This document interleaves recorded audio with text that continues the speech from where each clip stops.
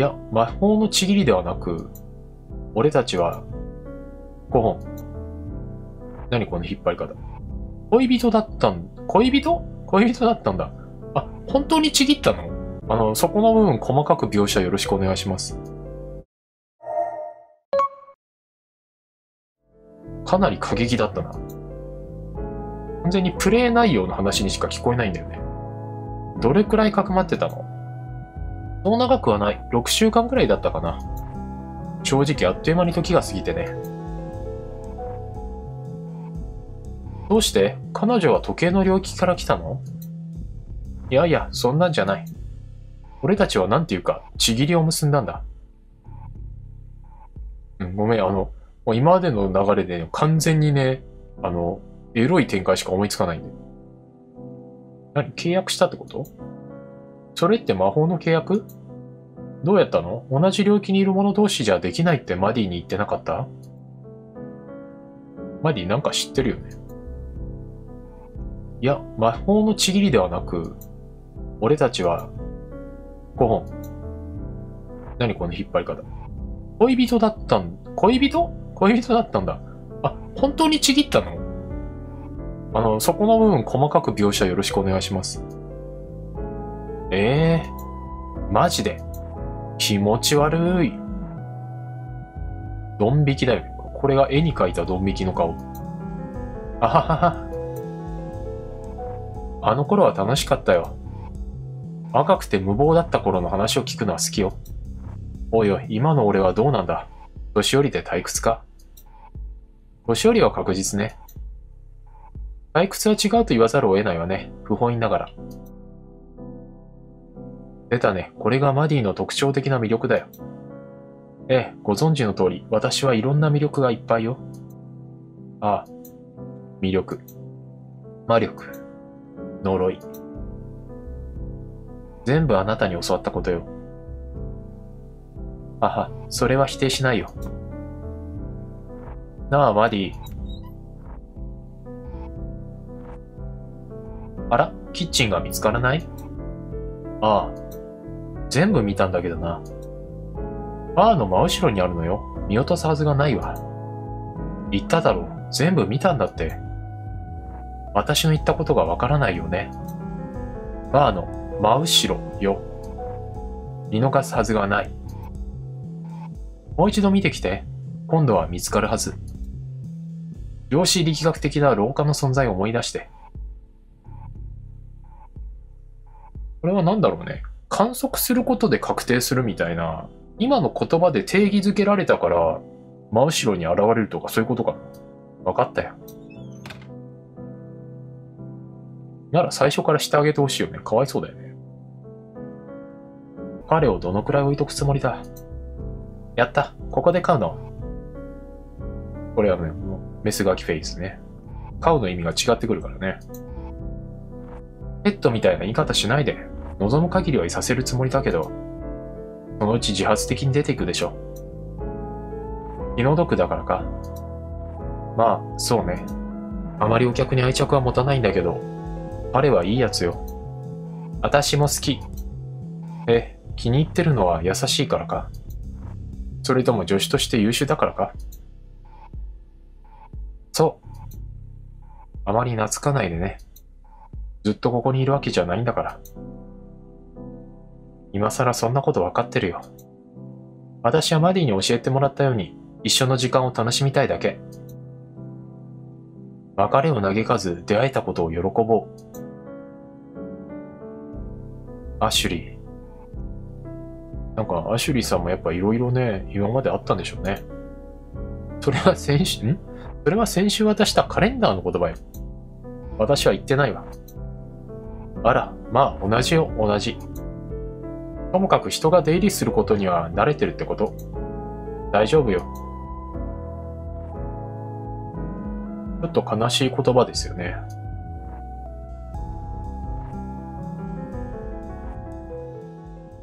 それでいいの？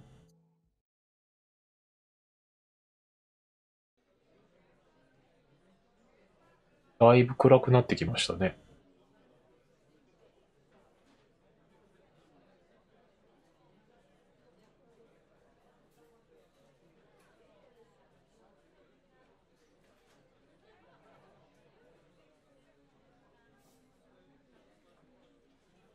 ネットさんがお帰りですね。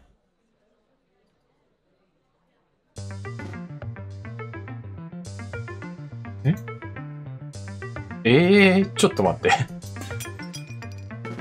くそ。悪い顔。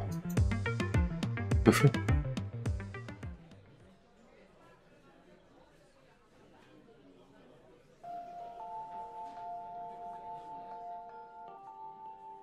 そうやってコーヒーのシミを眺めているつもりか。ああ。わかった。好きにしろ。何か話したいことがあるのかうん。私は生と死のことに関して隠し立てはしないぞ。そうだな。えーと。俺は去りたくないんだ。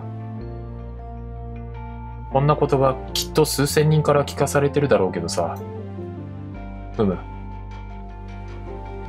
何も誰かと会うためにとどまりたいとか、かつての生活に戻りたいとかじゃない。それはそれで素晴らしいだろうけど、別に向こう側の世界が怖いんじゃない。行ってみるまで心配しても仕方ないしな。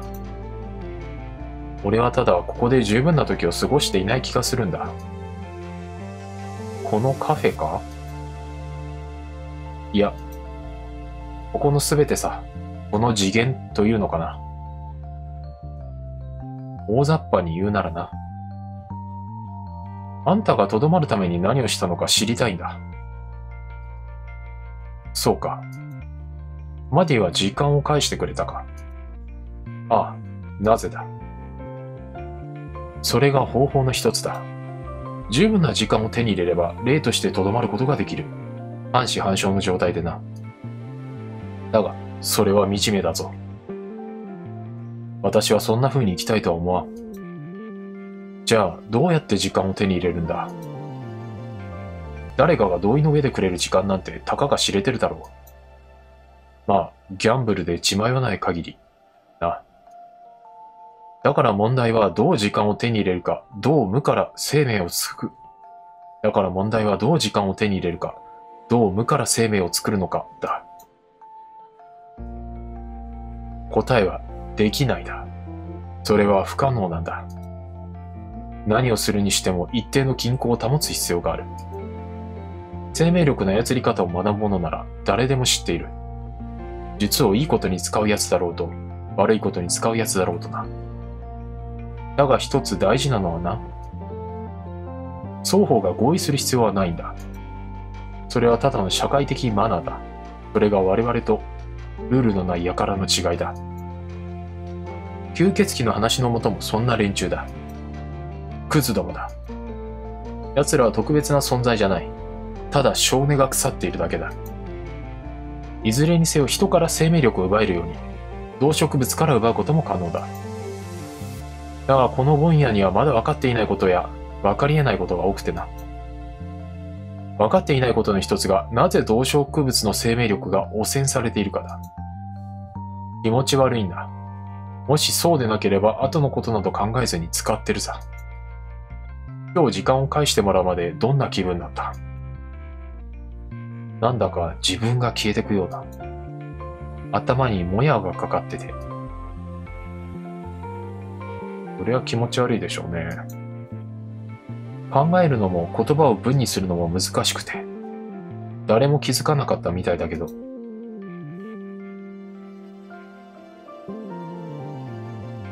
なんかちょっとアルツハイマーみたいですよね。典型的な症状だな。それよりも10倍ひどい感覚を想像するんだ。もやもやするが、さらに根本的な何かがおかしい。まるで自分がちぐはぐなパズルピースの集まり。オイルの切れかけたエンジンになったような感覚だ。恐ろしいな。そうだろう。で、俺はやるべきかな。いや、多分しない方がいい。他の方法で残れないのか。まあ、逃亡という選択肢もある。ひたすら逃げるんだ。でもあんたに捕まっちまうんだろう。私というわけではないが、まあそうだ。いずれは評議会に捕まる。それだけか？俺の選択肢は。多分な。魂を永遠に縛られてもいいなら別だが、厳格で中立的な法の番人だ。ネットさんですね。中立的な最低者の最も嫌なところは、なかなか自分の味方についてくれないところだ。その件について特にこれといった感情はありません。な、なんで急にロボットみたいになった？話し方まで中立的になるなよ。へへ。もし永遠にとどまるとしたら後悔するか？わからない。まあ、それは俺次第だろ。どういう意味だ？自分の選択をどう感じるかは結局自分の捉え方次第ってことさ。後悔だけに集中することもできる。でもそれはいい過ごし方じゃないと思うんだ。未来に目を向ければ、もう起こり得ないことより起こるかもしれないことを考えるようにすれば、きっと少しはマシじゃないかな。おう。納得してなさそうだな。いや、特にどうとも思わないだけだ。最近は物事を難しく考えすぎないようにしていてね。だがお前が評議会による永遠の束縛を受け入れるなら、お前をここに留めておくことができる。楽な仕事じゃないがな。常にシステムの利益を優先しなければならない。完全に歯車となるとさ。官僚主義の極みだな。あんたはどうやって受け入れたんだ？時間をかけただけさ。慣れれば自分が何をしているのか深く考えすぎないようになる。なるべく俯瞰的な視点に立つようにすれば、大概うまくいくものさ。いずれにせよ我々は特に問題のある違反者にしか手を出さないしな。マディもその一人なのか。うむ。まあ、常習犯だな。寛大な扱いを受けているのはチェイに免じてだ。あいつのことをよくわからないんだ。少し話していいやつだとは思ったけど、どの辺がそんなに特別なんだ？昔何度か我々にとある貢献をしてくれたんだ。生命力の制御についてあいつほど知っている奴は片手で数えられるほどしかいない。結構その道の対価なんですね。100年以上も研究しているからな。なるほどね。マジかよ、そんなに年寄りなのか。見た目はせいぜい40代だろう。ああ、本当はずっと上だ。なんてこった？話がそれだな。評議会に加わることはどう思う？私は誰にでもオファーするわけではないぞ。興味はあるけど、少し考える時間をくれないか。お前の残り時間は、ここに何時間いた ?25 時間ほど。もうオーバーしてますね。うむ、期限切れだな。マディの付けにしてくれ。あは。いいだろう。いつまでも居座るつもりはなさそうだしな。あ、今朝感じたような気分になるなら数時間以上はダメだね。ならお前がはっきりと答えを出すまで私はここにいよう。ネットさん、結構本当に寛大ですよね。了解。個人の裁量が大きいのかな？ところで酒を飲まないか。もう飲んでいるだろう。いや、チェイから聞いたんだ。マーの城にすごいものを隠してるって。よほど特別なものでない限り飲んだことがあるはずだ。そうでなくとも。じゃあもう試したというんだな。瓶詰めの魂を。瓶詰めの魂？からかってるのか？いや、それは何かの間違いだ。その目で見たのか？ああ、そうだよ。実際に見た。そいつは固く禁止されたものだ。あいつはそんなことしないと思っていたんだが。くそ。で、飲むかい？飲まないかい？評議会の規定では没収するか所持者に処分させなければならないと決まっている没収ね処分する手間を省いてやるだけだ。そうだろうか。いいじゃないか。飲めば最高に酔えるぞ。チェイがそう言ってた。それは私がか。それともお前かまさか飲んだら誰でもか。誰でもだ。あれのアルコール度数は200度だぜ。200度 ?100 を超えてる時点でおかしいよね。それは定義上ありえないはずだが、おっしゃると。興味はそそられるな。ああ。さあ、時間を無駄にするな。持ってんのもくそ。はめただ。まあね。やるかい？仕方ないな。見るからにヤバそうだ。死者はアルコール中毒にならないっていうのはいいね。そうとも。官僚主義に乾杯。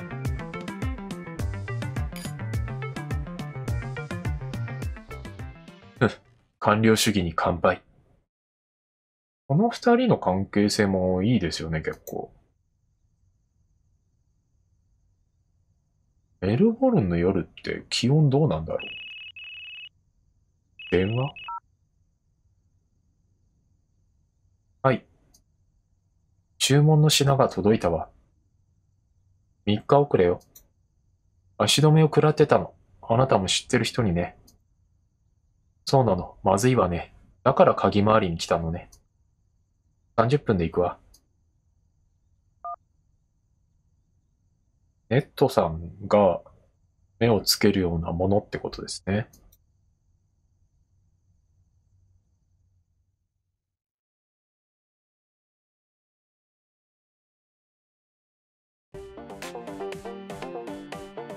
お、区切りですね。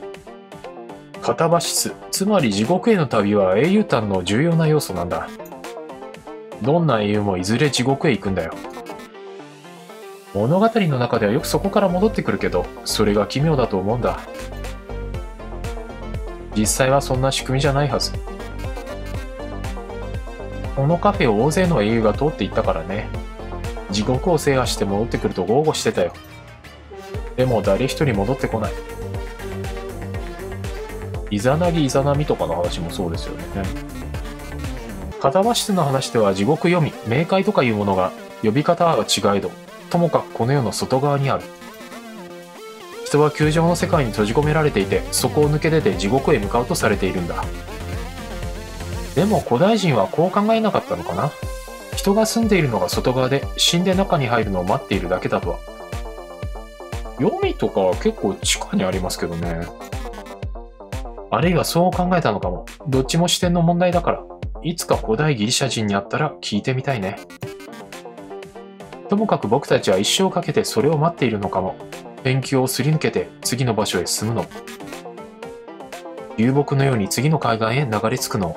どんな場所かはわからないけれど。奇妙な話だけど、そこが僕たちの本来いるべき場所なのかもしれない。今回えらい語りますね。この世界は別に何かを証明するための試練場ではないのかもと考えたりする。むしろただの待合室なのかも。美しくて欠陥だらけで複雑な待合室なのかもしれない。個人的には天国や地獄のようなものが待っているとは思わないんだ。審判のようなものもね。世界は二元論や絶対論じゃ割り切れないから。そういうのは捉えきれないほど複雑な世界を人間の不完全な思考の枠組みに押し込めようとした時に出てくるものさ。向こう側で待っているものは僕たちには概念化すらできないだろうな。とりあえずすごいものだろうとは思う。一方通行であることが本当に残念だよ。今回めちゃくちゃ真面目に語って終わったね。さて、これは何かこの先の展開に関係あるんですかね？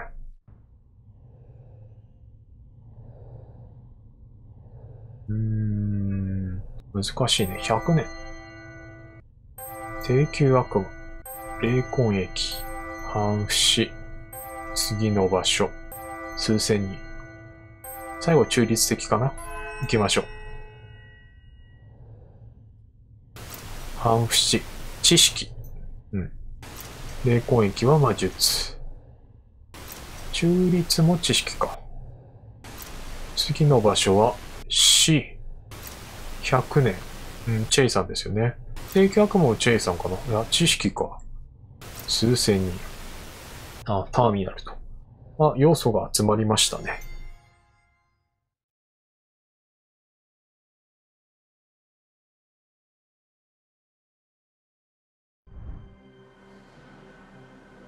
さて。おメニューが。つかの間の少年客。えー、つかの間の少年客。ティーンの少年がカウンターに近づいてきた猫背でうつむき加減で注文する瞬間までずっと目を伏せていた。もう少しきちんとすれば若者と言えそうだが、大きすぎるリュックと悪い姿勢を見れば分かった。解除してみようかな。読めるようになったね。